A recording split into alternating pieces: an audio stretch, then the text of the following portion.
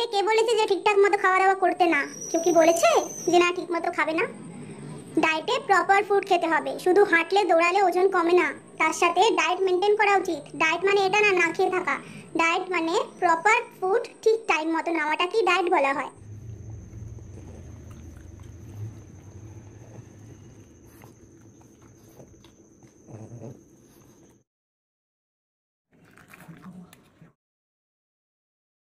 Hi friends so আমি চলে এসেছি। আর আজকে এখন বাজে সন্ধ্যা ছটা। এখন থেকে আজকে আমার ব্লগটা স্টার্ট করছি। আজকে সকাল থেকে একদম সময় পাইনি আমি। যারা আমার চ্যানেলে অলরেডি জানে অলরেডি আমার চ্যানেলে সাবস্ক্রাইবার তারা জানে।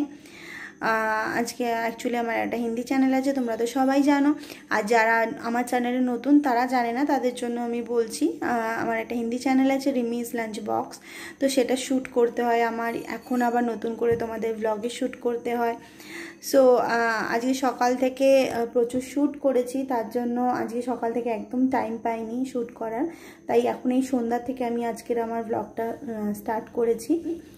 আর আজকে সকালবেলা আমি তোমাদের বলে দিই, কারণ আগের ভিডিওতে তোমরা আমাকে জিজ্ঞাসা করেছ যে আমি ব্রেকফাস্টটা শেয়ার করিনি। হ্যাঁ গাইজ তার জন্য আই এম সরি আমি ব্রেকফাস্টটা শেয়ার করতে পারিনি। সো আমি বলে দিচ্ছি, আগের ভিডিওতে আমি ব্রেকফাস্টে নিয়েছিলাম ওটস উপমা। আর আজকে আমি ব্রেকফাস্টে নিয়েছি two slice brown bread brown অথবা মাল্টিগ্রেন ব্রেডও তোমরা নিতে পারো। তার সাথে একটা বয়েলড এগ আর এক কাপ গ্রিন টি ব্যাস, এটাই আমার ব্রেকফাস্ট আর আজকে আমি লাঞ্চে ইভেন বলতে পারো কিছুই নিইনি জাস্ট একটা কিউকাম্বার নিয়েছি, আর তার সাথে হান্ড্রেড গ্রাম একদম হোমমেড কার্ড নিয়েছি, দই, যেটা ঘরে বানানো। আমুলের যে স্লিম অ্যান্ড ট্রিম একটা দুধ পাওয়া যায় না, সেই দুধটা দিয়ে তোমরা ইজিলি ঘরে দই বানিয়ে বসে ফেলতে পারো। সেটা দিয়েই আমি করেছি। আমি তোমাদের সাথে রেসিপিটা নিশ্চয়ই শেয়ার করব। তো এখন হয়ে গেছে সন্ধ্যা। তার মাঝখানে আমি আর কোনো খাবার দাবার খাইনি বাট আমি গ্রিন টি খেয়েছি আর জল খেয়েছি।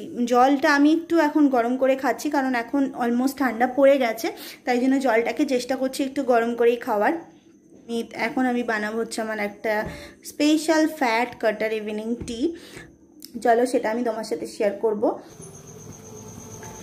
তো এখানে আমি সবার প্রথমে দেড় কাপের মতো জল দিয়ে দিয়েছি।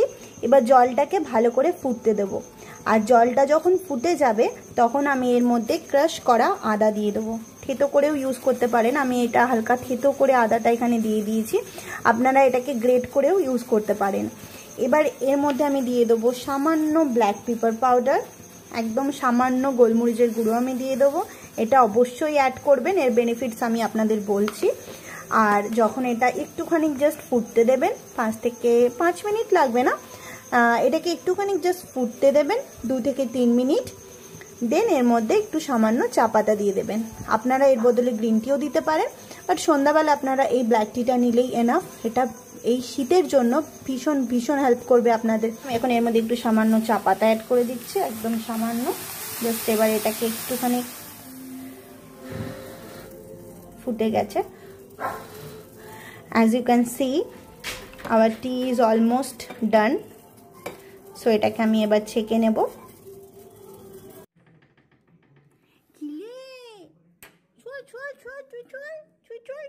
না না না না আমি যাব না দেব না।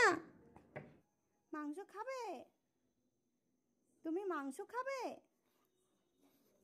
মাংস খাবে? খাবে?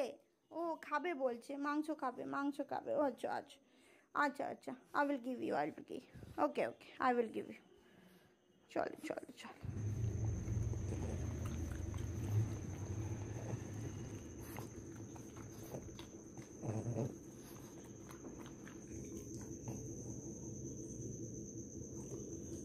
Anna, sit.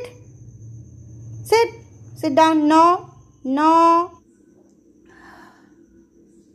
একটু ঝাল এই চাটা ইমিউনিটিকে স্ট্রং করে মেটাবলিজমকে হাই করে ফাস্ট ওয়েট লস করতে হেল্প করে প্লাস যাদের খুব অল্পতে ঠান্ডা লেগে যায় ঠান্ডা লাগার প্রবলেম আছে সর্দি কাশির প্রবলেম আছে সেটাকেও এটা কিওর করে বিকজ এটা ইমিউনিটি পাওয়ারকে খুব স্ট্রং করে। আর ইমিউনিটি যাদের স্ট্রং তাদের সহজে ঠান্ডা বা সর্দি কাশি হয় না। এই চায়ের সাথে আমি নিচ্ছি এই টু টু থ্রি আলমন্ডস এটা হচ্ছে ক্যালিফোর্নিয়া আলমন্ডস কে বলেছে যে ঠিকঠাক মতো খাওয়া দাওয়া করতে না? কেউ কি বলেছে যে না ঠিক মতো খাবে না? ডায়েটে প্রপার ফুড খেতে হবে। শুধু হাঁটলে দৌড়ালে ওজন কমে না।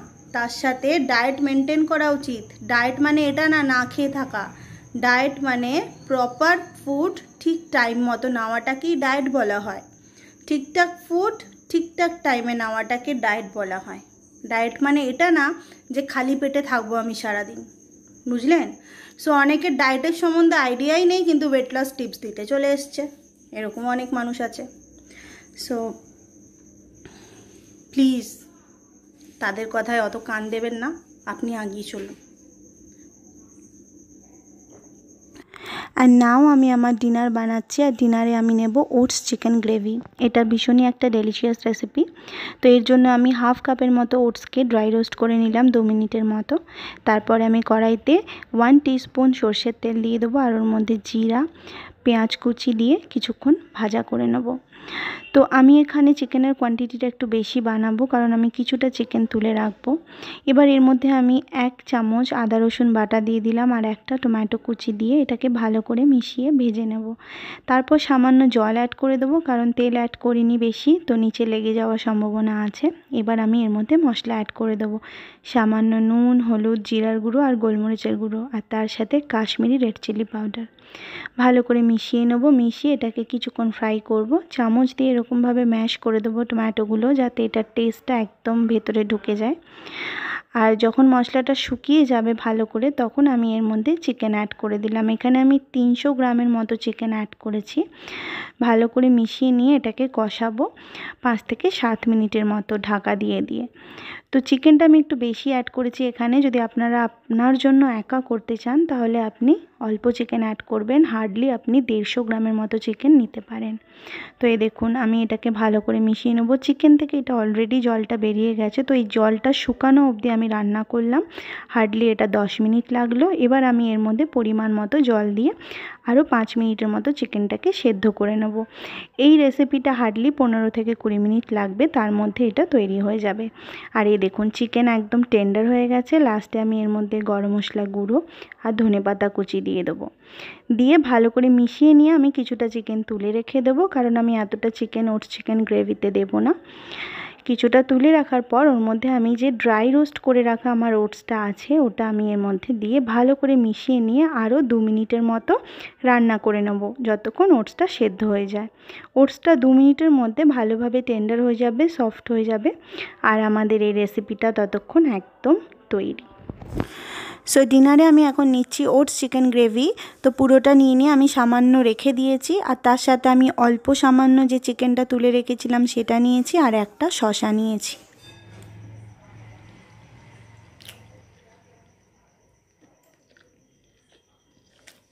খুব ভালো খেলে দারুণ। বাড়িতে একবার ট্রাই করে নিশ্চয়ই দেখতে পারেন। বয়েল করতে হবে ভালো করে like two two three minutes তাহলে এটা বিভৎস খেতে খুব ভালো। এই আইটেমটা আপনারা ফিশ দিয়েও বানাতে পারেন। ওটা আমি কোনো নেক্সট আমার ব্লগে শেয়ার করব। আমি শশা সবসময় স্কিন সমেতেই খাই।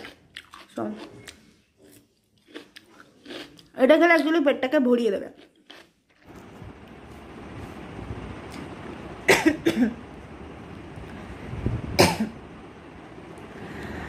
অলরেডি ডিনার কমপ্লিট আর আমি আজকে ভীষণ ভীষণ আজকে আমার ঘুম পাচ্ছে। আমি ব্লগটাকে আর কন্টিনিউ করতে পারছি না। আপনারাও ডিনার তাড়াতাড়ি কমপ্লিট করে ফেলুন। তো আবার কালকে নতুন ব্লগের সাথে দেখা হবে। আর কালকের ব্লগে একটা আমি নতুনত্ব রেখেছি। তো, সেটা সারপ্রাইজ যখন ব্লগটা কালকে আপলোড হবে, তখনই দেখতে পাবেন। আর গাইজ আর ভালো থাকো, সুস্থ থাকো। শুভরাত্রি।